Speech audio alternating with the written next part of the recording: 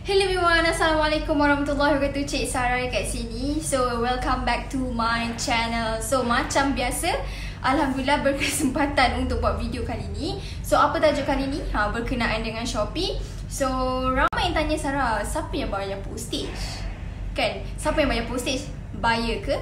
Seller ke? Ataupun Shopee? Ha, so ada ada banyak persoalan dekat situ. Okay, so kita akan tengok macam mana kita nak tengok uh, siapa yang bayar postage untuk order-order sekian-sekian. Okay, so uh, sebelum tu macam biasa tolong tekan like, tolong tekan subscribe dan juga jangan lupa untuk share video ni supaya ramai lagi kawan-kawan kita dekat sana boleh tahu tentang uh, Shopee. Okay, so jom kita start.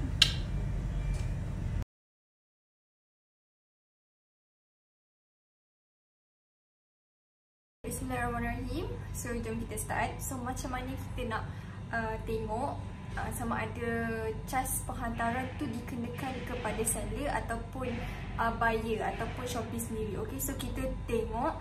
So untuk kali ni kena pakai laptop. Okay you all kena pakai PC untuk memudahkan um, Kita tengok kan? Okay so bila kita dah buka PC kita login kita punya Shopee account Okay, dekat seller center.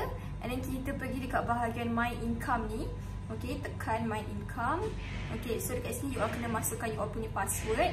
Okay, lepas tu you verify.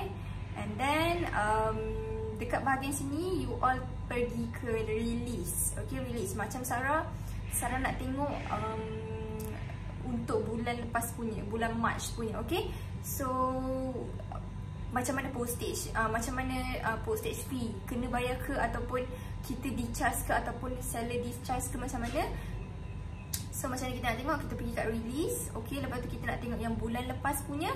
So kita kena select date okey pergi dekat select date ni kita pergi select lah okey 1 1 March hingga 31 March okey so dia akan keluar Okay, tapi macam ni kita susah nak tengok? So, kita pergi ke export Sebenarnya boleh je tengok dekat bahagian sini Tapi banyak banyak Kalau nak tengok keseluruhan Better you all pergi bahagian export. Okay, kita tekan export. Dia akan keluar dalam bentuk Excel. Okay, lagi senang lah Lagi mudah untuk kita tengok. So, bila dia dah keluar download ni Kita just tekan download sajalah. Okay So, bila kita dah tekan download Dia akan keluar macam ni. Okay, bila dia dah keluar macam ni Okay, dah keluar ni. So, kita pergi tengok bahagian uh, shipping fee. Yang ni, kolom M, kolom N dan juga kolom O. Okay, shipping fee paid by buyer. Uh, shipping rebate from Shopee.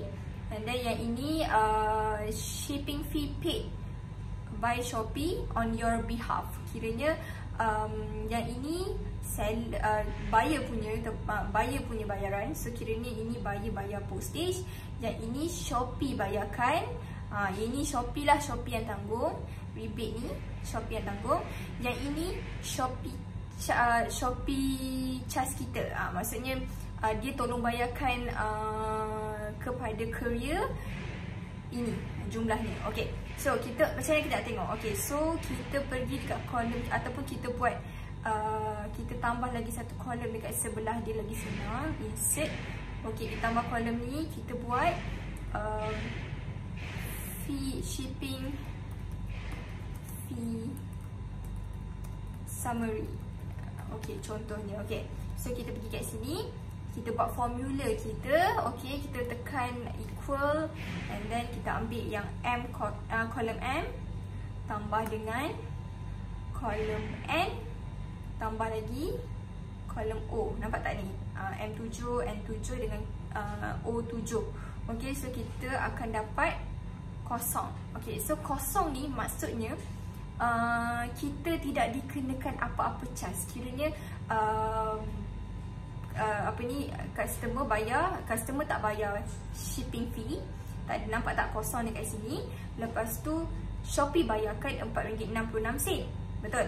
Okay, lepas tu uh, Shopee bayar dekat uh, courier RM4.66 So maknanya Shopee dah bayar kan? Ha, nampak tak kat sini? So kita uh, so dekat sini dia akan jadi kosong So kita kira lah semua ni sampailah bawah Okay kita tengok ada tak yang kita dikenakan. Ha, tak ada. So maknanya segala shipping fee ni kosong. So maknanya uh, seller tak tak tidak dikenakan apa-apa charge. Uh, kalau contoh macam ni Sarah bagi, yang ini uh, buyer bayar, okey, buyer bayar RM4.66.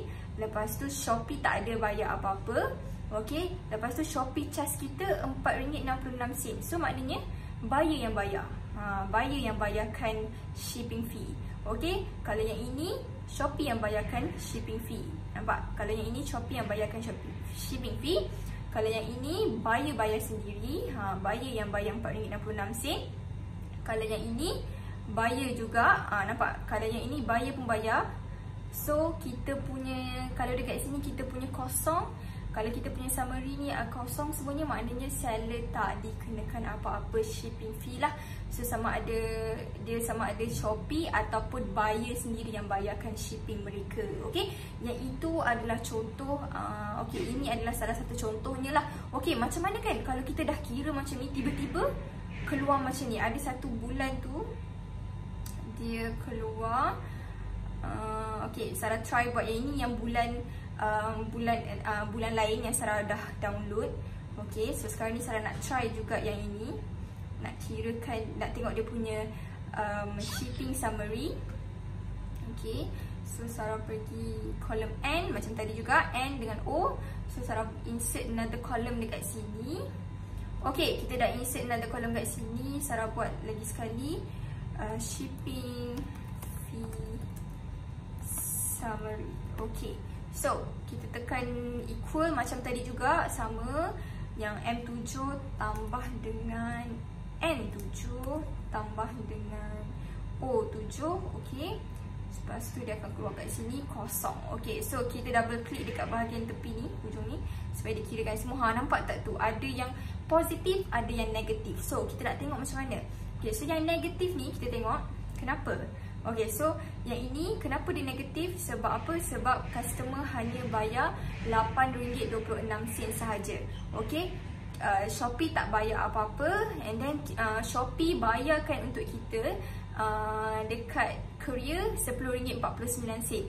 Okay, yang ini semaknanya customer bayar tak cukup. So, kita mungkin kita ada buat uh, free shipping voucher ke Uh, kita dikenakan RM2.23 Okay, so ini Kadang-kadang kan yang ini Kadang-kadang yang ini disebabkan oleh kita punya uh, berat Berat barang. Kadang-kadang kita tersalah letak berat barang. Kita letak barang tu uh, Dekat bahagian produk Kita letak barang tu beringan Sedangkan dia berat. Bila bila pihak courier timbang barang kita uh, Barang tu dia punya postage RM10.49 Tapi sebabkan kita letak kita punya barang berat kita ringan. So dekat bahagian sell, uh, buyer ni dia dikenakan RM8.26 sedangkan berat dia sepatutnya RM10.49 so kita lah kena tanggung RM2.23 ok sama juga yang ini pun sama juga. Ini kita kena tanggung ini tanggung. Yang negatif ni kita yang kena bayar. Ok macam mana pula dengan positif?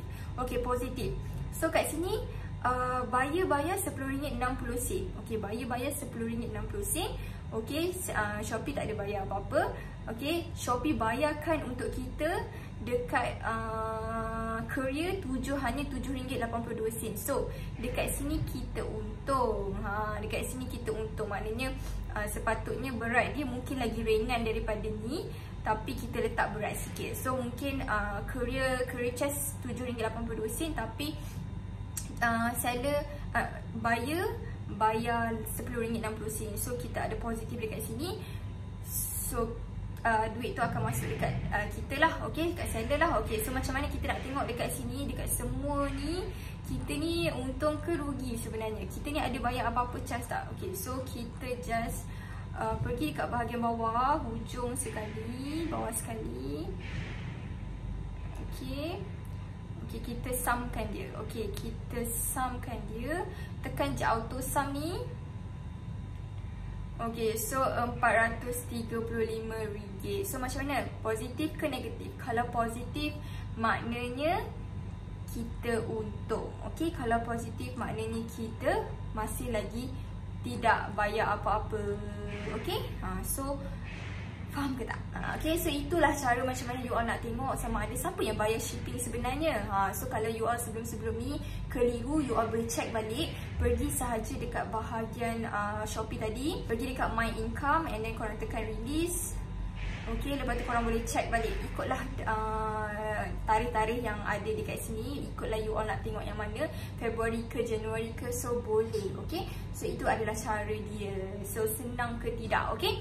So sebab benda ni banyak sangat orang tanya So Sarah harap membantu Itu sahaja video untuk kali ni Ha, macam mana? Uh, untuk untuk video kali ni Sarah harap Sarah membantu you all sedikit sebanyak mengenai shipping fee. So sebab ramai sangat yang tanya Sarah siapa yang bayar, siapa yang bayar. So you all boleh tengok siapa yang bayar um, shipping cost uh, melalui cara yang Sarah tunjukkan tadi. So, saya rasa sampai sini sahaja video untuk kali ini. InsyaAllah kita akan jumpa lagi next time. So, sebelum tu, jangan lupa untuk tekan button subscribe siapa yang baru join siapa yang first time tengok Sarah buat video. So, jangan lupa subscribe, okay? So, tekan like, uh, jangan lupa untuk comments juga. Jangan lupa untuk share video ni kepada semua kawan-kawan, okay? So, saya rasa sampai sini je. Bye. Assalamualaikum. Thank you.